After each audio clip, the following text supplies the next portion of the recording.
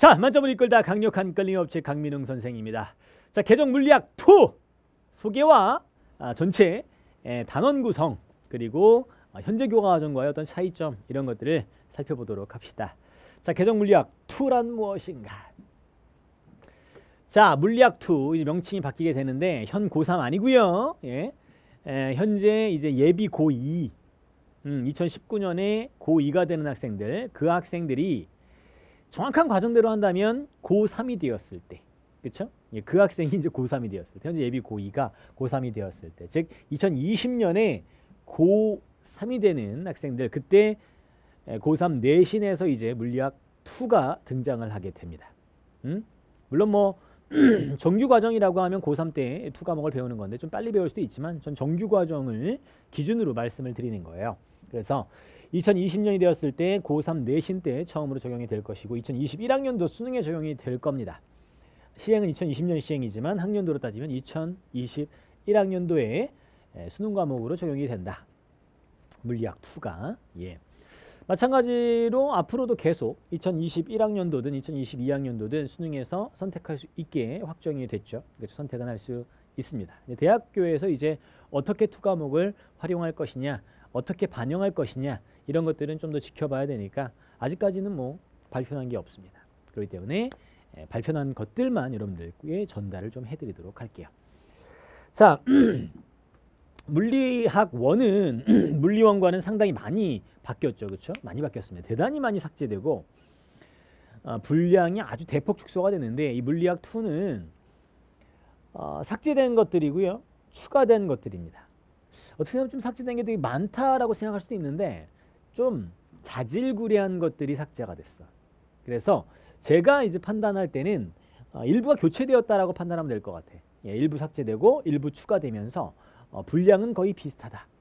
알겠죠? 예, 물리학 투가 분량은 현재랑 비슷한데 에, 살짝 더 많아진 듯한 느낌이 들 수 있어. 지금 뭐 주제들은 삭제된 게 더 많은 것처럼 보이지만 이 주제가 여봐 편광, 원자와 주기율표, 슈레딩거 방정식, 양자 터널 효과 이렇게 아주 아주 작은 소주제들이 삭제가 되었기 때문에 들어온 건 좀 크게 들어왔죠. 막 일반 상대성, 돌림임 얘 때문에 이게 문제야 지금. 물리원에서 돌림임의 명성이 좀 있었죠, 그렇죠? 킬러 주제로 수년간을 굴림해 왔습니다. 이게 이제 물리투로 넘어왔기 때문에 날아가는 것들은 그냥 별거 아닌 것들이 날아가고 추가되는 건 몇 개 안 추가됐지만 아주 아주 무게감이 있는 돌림임이 물리투로 넘어왔다. 라는 거 시사하는 바가 좀 있습니다. 자 삭제된 거 하나 볼게요. 하나하나씩. 교류회로 아 그래요. RLC 교류 직렬회로 교류회로들이 사실은 물투라고 하더라도 조금 적합하진 않았습니다. 이 교류회로 파트가 왜냐하면 그 미분 방정식을 풀어서 정확한 과정들이 나오게 되는 것인데 그런 것들을 물two에서도 가르치진 않았거든. 슈뢰딩거 방정식도 마찬가지죠. 미분 방정식이 소개가 됐단 말이야. 그러나 고등 수학 과정에 미분 방정식 풀이는 없는데 그게 물리학에서 갑자기 띡 나오는 것 자체가 좀 웃기지 않습니까? 그러다 보니까 이제 미분 방정식 같은 거 풀 수는 없으니까 풀라고는 안 하고 이게 의미하는 물리적 의미만 외워서 풀어 이런 상황이었잖아요. 날라갑니다. 알겠죠? 또 이해하기 어려웠던 교류회로도 날라가죠. 물론 우리는 뭐 7년 동안 그렇죠? 7년 동안 교과 과정에서 원하는 대로 어, 풀 수 있는 스킬들을 가지고 풀어왔습니다만 그 시작점 자체가 아주 명쾌하게 우리가 이해하기는 좀 어려운 것들로 시작됐던 게 또 사실입니다. 그래서 삭제되는 거는 교류회로가 삭제돼요. 물론 뭐 어, 전자기 유도, 유도 기 전력 이런 것들은 살아남아 있습니다. 알겠죠? 예, 그런 것들 살아남아 있는데 예, 그 RLC 교류직료 회로, LC 진동 회로 이런 것들이 좀 날아간다. 전위 개념이 사라지고요. 로런츠 힘이 없어집니다. 자기 쌍극자 개념 없어지고요. 충격파, 도플러는 남아 있어요. 도플러 효과 남아 있는데 충격파가 사라지고 레이저, 양자 터널 효과, 전자현미경, 슈뢰딩거 방정식, 원자와 주기율표. 와, 7년 동안 한 번도 안 나왔던 주제예요. 왜 넣은 거야? 왜 넣은 거야? 원자와 주기율표? 이름만 봐도 물리에 걸맞지는 않습니다. 주기율표라니요.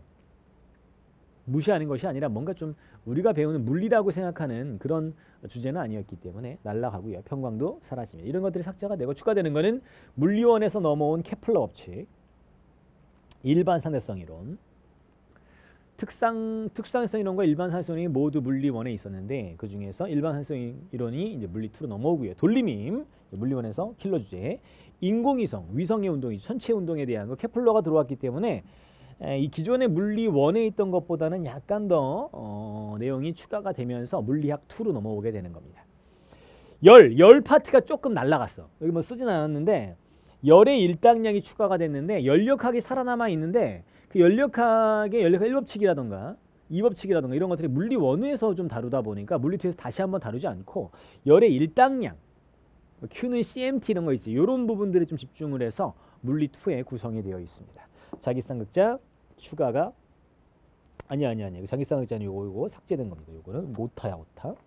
알겠죠? 오타 sorry. 자, 이렇게 아, 계정 물리학의 에, 특징, 이제 물리학 물리 2랑 이제 에, 조금 바뀐 것들을 좀 살펴보았고요. 전체 단원 한번 살펴보도록 할게요. 자, 대단원을 한번 보면요. 마찬가지로 물리학 원처럼 네개 단원이 세개 단원으로 축소가 됩니다.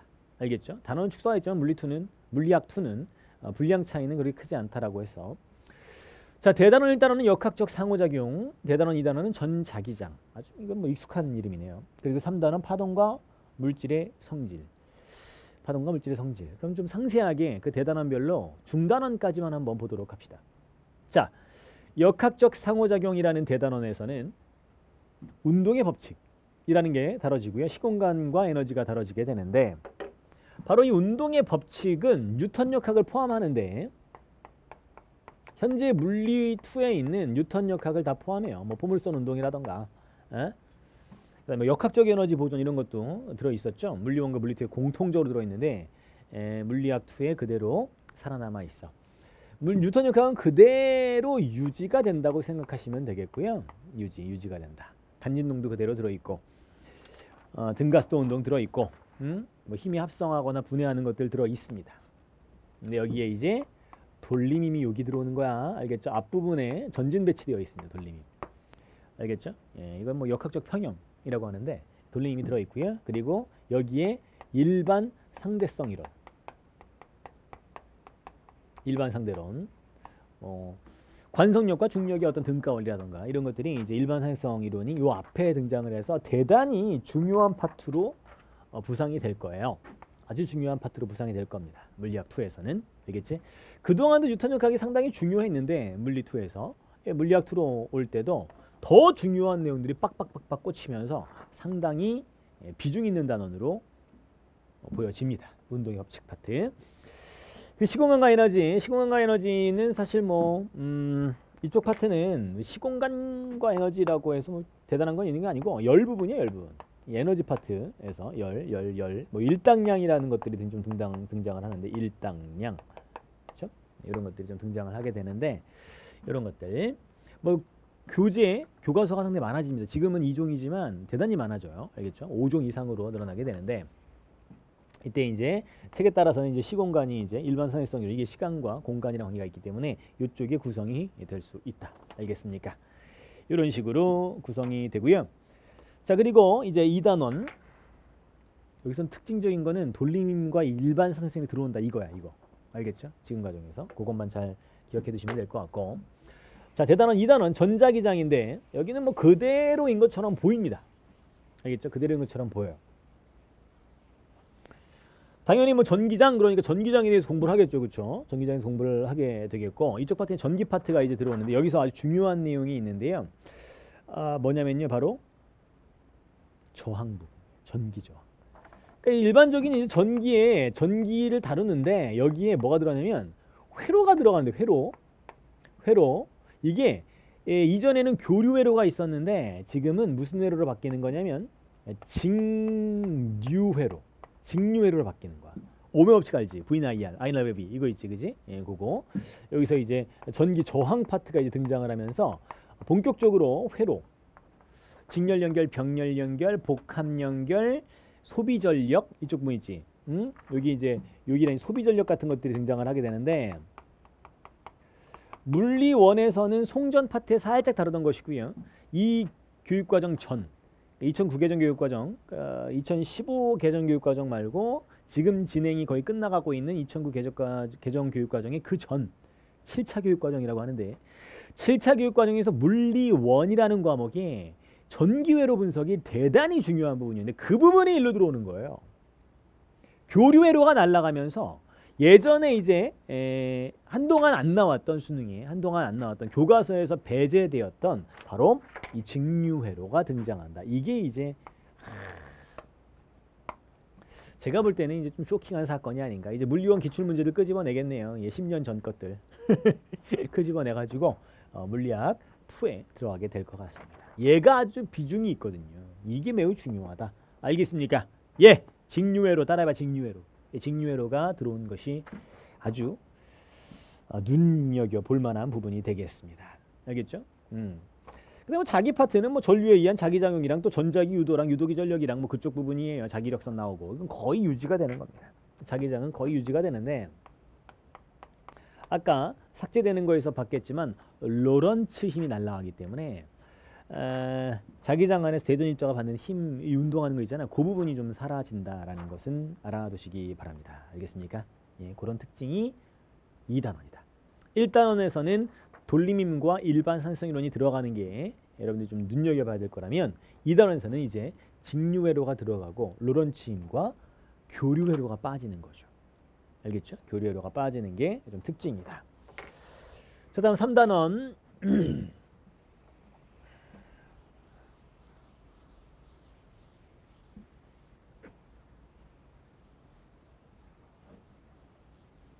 예, 파동과 물질의 성질인데 전자기파, 빛과 그 전파를 우리가 전자기파라고 하잖아.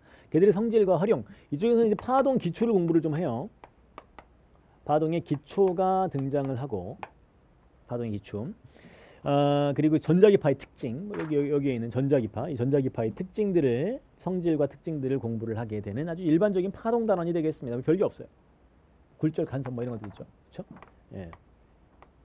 굴절, 간섭 이런 거. 여기에 말이야 렌즈가 들어가는데 렌즈.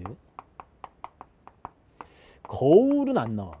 거울이 삭제됐습니다. 알겠죠? 렌즈는 나오지만 거울은 삭제돼. 알겠죠? 예, 굴절 파트에서 렌즈를 다루고요. 어, 거울은 삭제되는 게 이번 물리학 2에서 3단원의 좀 특징이에요. 알겠죠? 렌즈만 나온다고 재밌게도. 렌즈만 나오고 거울은 등장하지 않는다. 이런 특징이 이쪽에서 좀 나타나게 됩니다. 알겠죠 이중섭 파트는 이제 물리원과 중첩되는데요. 예. 물리학원이죠. 물리학원과 좀 중첩이 돼. 중첩이 됩니다. 그래서 어, 빛의 입자성, 광전효과죠, 그죠? 예, 광전효과. 이 부분이 거의 비슷합니다. 예, 조금 더 정량적으로 다뤄지게 되겠죠. 물리, 물리학 2에서는 광전효과랑 물질의 파동성, 물질파 이런 게 물리원과 겹치면서 물리학 원과 겹치면서 물리학 원과 물리 투 물리학 투를 같이 했을 때 좀 시너지가 있을 수 있는 부분이고 여기서 그 어, 양자역학이 빠졌는데 양자역학 양자역학 중에 아주 대표적인 그 이론이 바로 그 슈레딩거 방정식 아닙니까? 그게 날라갔어. 날라갔는데 하나는 아직 남아 있어. 바로 하이젠베르크의 불확정성의 원리. 예, 하이젠베르크의 불확정성은 남아 있다. 알겠죠? 요게 남아 있어요. 음, 요건 남아 있기 때문에 불확정성 원리는 우리 공부를 해야 된다라는 거야. 현재 물리원과 물리학 물리학 물리 2와 물리학 2의 차이. 바로 그쪽 현대 물리에서는 양자 물리 파트에서 불확정성은 살아남아 있지만 슈레딩거 뭐 양자 터널 현상, 원자와 주기율표 이런 것들은 좀 날라갔어. 다만 이제 뭐 오비탈 개념 있잖아요. 전자 구름 모형 이런 것들은 불확정성으로도 설명할 수 있기 때문에 이제 그런 것들은 이쪽에 남아 있다. 미시세계 운동에서 이렇게 이제 3단원 파동과 물질의 성질 파트가 이렇게 구성이 되는 것이 물리학 2가 되겠습니다. 아직 뭐 물리학 2는 학교에서 공부하기에는 좀 남았죠. 그렇죠? 아마 1년 정도 더 지나야 여러분들이 이제 좀 관심을 갖게 될 텐데 음? 그래도 이제 바뀌어가는 과정이니까 한번 소개를 한번 해 보았습니다. 에, 뭐 나중에 뭐 1년 더 후에나 이것들 만나보게 되겠지만 이건 뭐 내신으로도 아직 에, 2019년에 진행되는 것이 아니기 때문에 한번 살펴본 것이다 라고 생각하시면 되겠어 알겠죠? 참고하셔서 어, 나중에 혹시 물리학 2를 선택하게 될 학생들은 어, 방향성을 좀 잘 설정을 해주시기 바랍니다. 지금까지 강민웅 선생이었습니다. 고맙습니다.